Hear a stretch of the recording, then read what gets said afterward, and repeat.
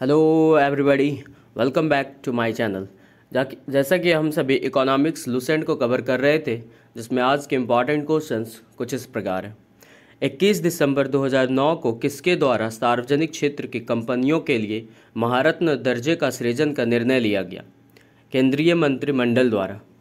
21 दिसंबर 2009 को किसके द्वारा सार्वजनिक क्षेत्र की कंपनियों के लिए महारत्न दर्जे का सृजन का निर्णय लिया गया? तो केंद्रीय मंत्रिमंडल द्वारा। बड़े उद्योगों को कौन ऋण देता है?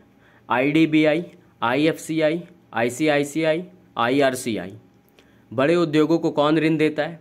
आईडीबीआई, आईएफसीआई, आईसीआईसीआई, आईआरसीआई लघु उद्योगों को कौन ऋण देता है? सिडबी। लघु उद्योगों को कौन ऋण देता है? सिडबी। भारत का कृषि के बाद दूसरा सबसे बड़ा रोज़गार प्रदान करने वाला उद्योग कौन है? कपड़ा। भारत का कृषि के बाद दूसरा सबसे बड़ा रोज़गार प्रदान करने वाला उद्योग कौन है? कपड़ा। भारत का सबसे बड़ा वस्त्र उद्योग केंद्र कहाँ है? मुंबई। भारत का सबसे बड़ा वस्त्र उद्योग केंद्र कहाँ है? मुंबई।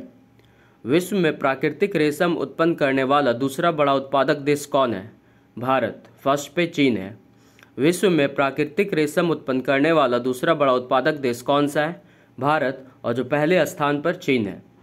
देश के कुल रेशम उत्पादन का आधे से कुछ अधिक भाग किस राज्य में उत्पादन किया जाता है? कर्नाटक में। देश के कुल रेशम उत्पादन का आधे से कुछ अधिक भाग किस राज्य में उत्पादन किया जाता है? कर्नाटक में। जिला उद्योग केंद्रों की स्थापना कब की गई? 1977 में। जिला उद्योग केंद्रों की स्थापना कब की गई? 1977 में। 1977 में कुल कितना जिला उद्योग केंद्र था? 422 1977 में कुल कितना जिला उद्योग केंद्र था? 422 लघु उद्योग में सुधार के लिए कौन सी समिति बनी? आबिद हुसैन समिति। लघु उद्योग में सुधार के लिए कौन सी समिति बनी? तो आबिद हुसैन समिति। लघु उद्योग में अधिक से अधिक कितने रुपए का निवेश होना अनिवार्य है? एक करोड़। लघु उद्योग में अधिक से अधिक कितने रुपए का निवेश होना अनिवार्य है? एक करोड़। कुटीर उद्योग की अधिकतम निवेश सीमा कितनी है? पच्चीस लाख। कुटीर उद्योग की अधिकतम निवेश सीमा कितनी है? पच्चीस लाख। पुस्तक स्मॉल इज़ ब्यूटीफुल किसकी रचना है? सुमा खरू की। पुस्तक स्मॉल इज़ ब्यूटीफुल किसकी रचना है? सुमा खरू की। स्मॉल इज़ ब्यूटीफुल पुस्तक में किसका वर्णन है? लघु उद्योगों की उपयोगी भूमिका। स्मॉल इज़ ब्यूटीफुल पुस्तक में किसका वर्णन है? तो लघु उद्योगों की उपयोगी भूमिका के बारे में ज़िक्र किया गया है। लघु उद्योग विकास संगठन की स्थापना कब हुई? उन्नीस सौ चौवन में। लघु उद्योग विकास संगठन की स्थापना कब हुई? उन्नीस सौ चौवन में। लघु उद्योग विकास संगठन का मुख्य अधिकारी कौन होता है? विकास कमिश्नर।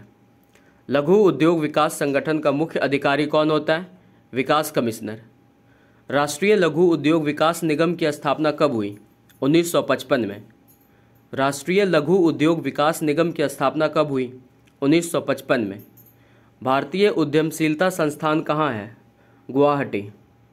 भारतीय उद्यमशीलता संस्थान कहाँ है? गुवाहाटी। राष्ट्रीय उद्यमशीलता एवं लघु विकास व्यापार संस्थान कहाँ है? नोएडा में। राष्ट्रीय उद्यमशीलता एवं लघु विकास व्यापार संस्थान कहाँ है? नोएडा में। राष्ट्रीय लघु उद्योग विस्तार प्रशिक्षण संस्थान कहाँ है? हैदराबाद में। राष्ट्रीय लघु उद्योग विस्तार प्रशिक्षण संस्थान कहाँ है? हैदराबाद में। सिडबी अपना कार्य प्रारंभ कब से की? 1990 से सिडबी अपना कार्य प्रारंभ कब से की? 1990 से सिडबी का हेडक्वार्टर कहाँ है? लखनऊ। सिडबी का हेडक्वार्टर कहाँ है? लखनऊ। सिडबी की समता पूंजी कितनी है? अढ़ाई सौ करोड़। सिडबी की समता पूंजी कितनी है? अढ़ाई सौ करोड़। औद्योगिक रुग्णता के संबंध में उन्नीस सौ पचासी में किस समिति की सिफारिश पर रुग्ण औद्योगिक कंपनी अधिनियम पारित किया गया? नारायण दत्त तिवारी समिति के आधार पर। औद्योगिक रुग्णता के संबंध में उन्नीस सौ पचासी में किस समिति की सिफारिश पर रुग्ण औद्योगिक कंपनी अधिनियम पारित किया गया? नारायण दत्त तिवारी समिति। औद्योगिक एवं वित्तीय पुनर्निर्माण बोर्ड की स्थापना कब की गई? जनवरी उन्नीस सौ सतासी। औद्योगिक एवं वित्तीय पुनर्निर्माण बोर्ड की स्थापना कब की गई? जनवरी उन्नीस सौ सतासी। उन्नीस सौ तिरानवे में गठित किस समिति ने बीआईएफआर की भूमिका में परिवर्तन की बात की? ओंकार गोस्वामी समिति। उन्नीस सौ तिरानवे में गठित किस समिति ने बी की भूमिका में परिवर्तन की बात की? ओंकार गोस्वामी समिति।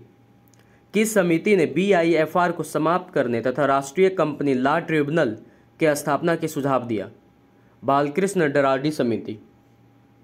किस समिति ने बीआईएफआर को समाप्त करने तथा राष्ट्रीय कंपनी लॉ ट्रिब्यूनल की स्थापना का सुझाव दिया?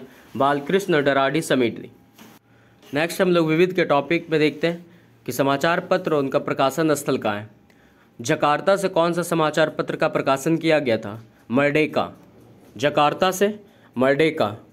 वाशिंगटन से वाशिंगटन पोस्ट। वाशिंगटन से वाशिंगटन पोस्ट। चेन्नई से द हिंदू चेन्नई से द हिंदू जोहान्सबर्ग से, स्टार।